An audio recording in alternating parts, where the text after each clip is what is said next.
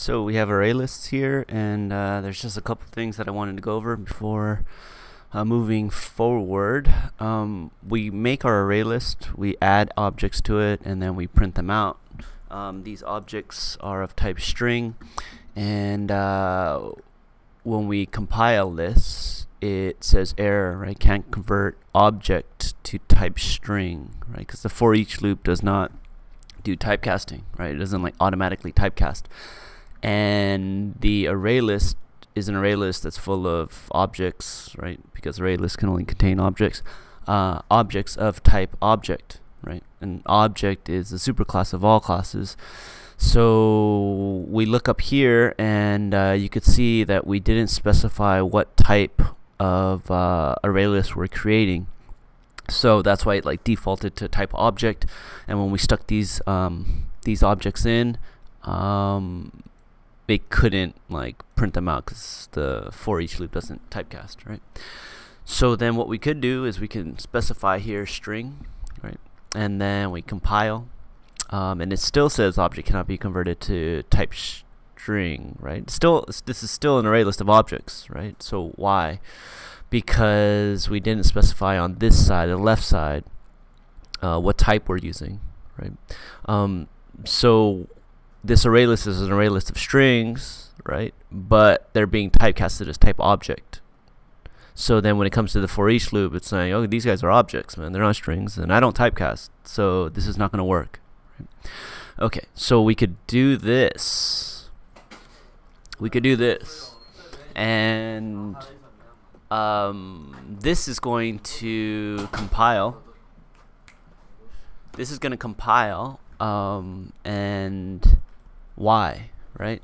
Well, in like Java like 7 I think we're on like Java this is Java 8 uh, version 8 in Java 7 this is a legal statement and this is equivalent to this okay? So we're making um, an array of type string and the definitions are going to be in string. So typically this um, would say that this wouldn't compile because we're making a uh, array of elements of type string and we're finding the definitions of these methods the string methods in the object uh, class right? And that's moving up the hierarchy and that wouldn't compile. So if you're using like java like 6 or whatever anything before 7 um, this wouldn't compile. But after 7 this does compile. And this is equivalent to that okay. But anyways you should be using this method just for I don't know just for posterity's sake. I'm not I'm not sure what the word is but let's just be safe and uh, specify on both sides right? String string. And then we have no syntax errors. I run and this is what I get right? ABCD as I should right? Because these guys are all strings. And then I'm printing them out. Okay great. So but what if I am removing right? So I say like r dot remove uh, s, right? But remove it uh, if uh, if s dot equals, um, and that's another thing, right? S you can't say dot equals a, right? I mean you can't say equal equals a. Um, and, and the reason why you can't do that is because equal equals are only valid for primitive data types, right?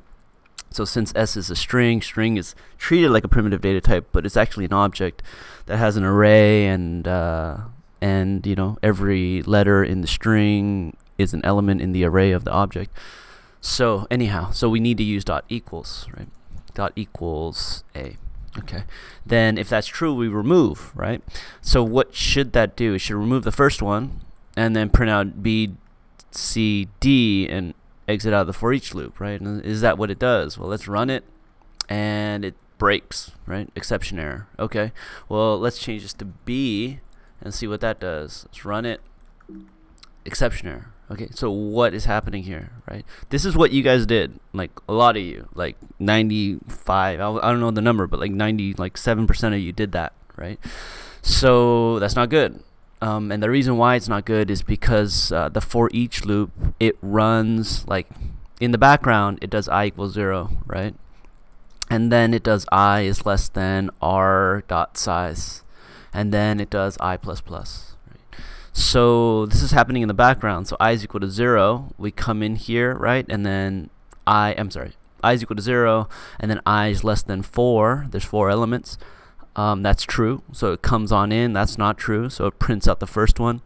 Uh, we come back up. It increments i to 1 and then it runs this and that's true right 1 is less than 4 it comes in here it's equal to b removes the b right so b is not in there anymore and then prints or whatever we come back up we increment i to 2 and then it checks is 2 less than the size 3 yes it is right so we that's not true and then we print or whatever it is. We come back up and then i increments to 3. 3 is not less than 3 and it stops working, right? So um, the basic uh, lesson of this is that you can't remove in a for each loop, right? Without having an exception error. So how can you remove from a array list? Well, there's several methods there you can use like an iterator right and we'll, we'll review that um, in the next like packet or you can use a for loop like a regular for loop right? And just do a little bit of java kung fu. So like we'll say var no i'm sorry int i is equal to 0 i is less than what is it r dot size and then we'll do i plus plus right? But every time you remove right you're going to decrement the i variable because when you remove that changes the size right? So this was 4 and we remove now this should be 3 right? So what we're gonna do is we're gonna decrement the i variable and that's gonna make everything work out correctly I believe. So yeah I'll compile. Cannot find the s. Oh okay. So then yeah this would need to be our dot get i. And then we'll compile. Nope. Remove s. No r dot get i.